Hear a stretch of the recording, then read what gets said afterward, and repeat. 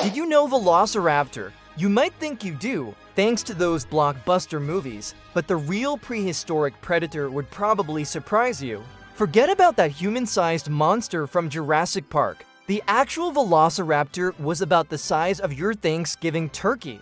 And here's something that might blow your mind. It wasn't the scaly beast we've seen on screen. These deadly hunters were actually covered in feathers, looking more like angry, deadly chickens than the reptilian terrors Hollywood showed us. But don't let their smaller size fool you. These creatures were equipped with a terrifying weapon, a curved, sickle-shaped claw on each foot. This wasn't just for show or simple slashing. They used these deadly tools to pin down their prey before delivering the final, fatal blow. What made them even more dangerous was their hunting strategy.